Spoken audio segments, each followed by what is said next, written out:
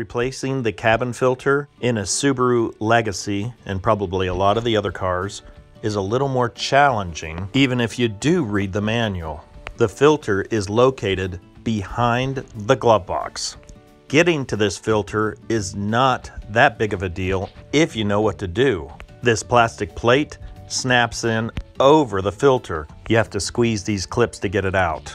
To drop the glove box down, you have to squeeze the two ends and that will clip in so it'll go up and down. There's also this little support strap that needs to click into place and click out when you drop the door down.